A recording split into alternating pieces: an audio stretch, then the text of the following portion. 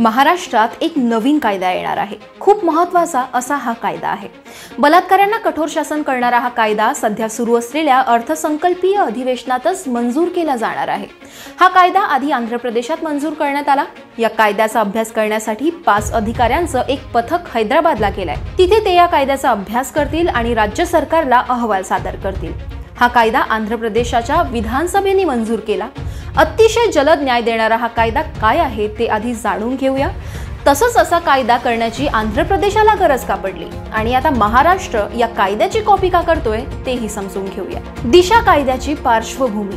हैदराबादमध्ये नोव्हेंबर महिन्यात एका पशुवैद्यकीय डॉक्टरचा बलात्कार झाला होता आणि तिची निर्घृण हत्याही करण्यात आली होती. या प्रकरणी संपूर्ण आंध्र प्रदेश आणि तेलंगणात संतापाची लाट उसळली होती. त्या चारही नराधमांना पोलीस कोठडीतून ज्या ठिकाणी गुन्हा घडला त्या ठिकाणी नेण्यात आलं. तेव्हा त्यांनी पळून जाण्याचा प्रयत्न केला म्हणून त्यांना पोलिसांनी चकमकीत ठार केलं. ही चकमक बनावट होती आणि आरोपींना त्वरित शिक्षा देण्यासाठी त्यांनी ठार मारलं असा आरोप करण्यात आला. त्यावेळी अशा कायद्याची गरज आंध्र प्रदेशच्या सरकारला भासली. शिवाय निर्भया प्रकरणही डोळ्यासमोर आहेस तिचा बलात्कार झाला तो डिसेंबर दोन हजार बारामध्ये आरोपींना फाशीची शिक्षा झाली ती दोन हजार पंधरामध्ये पण अजूनही त्यांना फासावर लटकवण्यात आलं नाही. ते आरोपी कायद्यातल्या पळवाटांचा आधार घेत अजूनही जिवंत आहेत आणि त्यांना मार्गदर्शन करत आहेत ते त्यांचे वकील. या दोन्ही घटनांचं उदाहरण डोळ्यांसमोर असल्यामुळे जगमोहन रेड्डी यांच्या सरकारने आंध्र प्रदेशात दिशा कायदा बनवला. काय आहे दिशा कायदा दिशा कायद्यात कठोर तरतुदी करण्यात आल्या आहेत. बलात्कार सामूहिक बलात्कार अशा गुन्ह्यांत आरोप सिद्ध झाल्यास दोषीला एकवीस दिवसांत शिक्षा देण्यात येणार आहे. सुधारित दिशा विधेयकात बलात्कारांच्या प्रकरणामध्ये एफ आय आर दाखल झाल्यापासून एकवीस दिवसांच्या आत सुनावणी पूर्ण करून मृत्यूदंडाची शिक्षा देण्याची तरतूद आहे. विधेयकात भारतीय दंड विधानाच्या तीनशे चौपन्न कलमात दुरुस्ती करण्यात आली असून तीनशे चौपन्न ई हे कलम बनवण्यात आलाय. सुधारणा कायद्यानुसार अशा प्रकरणात जिथे साक्षी पुरावे उपलब्ध आहेत तिथे तपास सात दिवसांत पूर्ण करून आणि पुढील चौदा दिवसांत कोर्टात सुनावणी झाल्यानंतर एकवीस दिवसांच्या आत शिक्षा दिली जावी असं म्हटलंय. सध्याच्या कायद्यांतर्गत खटला चालवण्यासाठी चार महिन्यांचा कालावधी मिळतो. या प्रकरणांसाठी तेरा जिल्ह्यांमध्ये विशेष न्यायालयांची स्थापना करण्यात येणार आहे.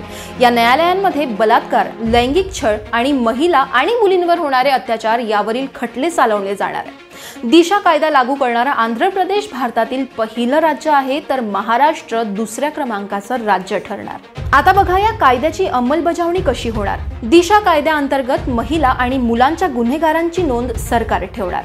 भारत सरकारनं लैंगिक गुन्हेगारांची एक राष्ट्रीय नोंदणी सुरू केली आहे पण त्याचा डेटाबेस डिजिटाईज केला जाणार नाही. म्हणजेच काय? तर ती डेटाबेस सामान्य जनता पाहू शकणार नाही. आंध्र प्रदेश दिशा अधिनियम दोन हजार एकोणीस अंतर्गत. आंध्र प्रदेश सरकार इलेक्ट्रॉनिक स्वरूपात एक रजिस्टर बनवेल ज्याकडे सरकारचं लक्ष असेल ज्याला महिला आणि बाल अपराधी नोंदणी असं म्हटलं जाईल. दिशा कायद्याचे दोन फायदे आहेत. या कायद्यामुळे सोशल मीडियाच्या माध्यमातून महिलांच्या छळासाठीही आता शिक्षा होणार.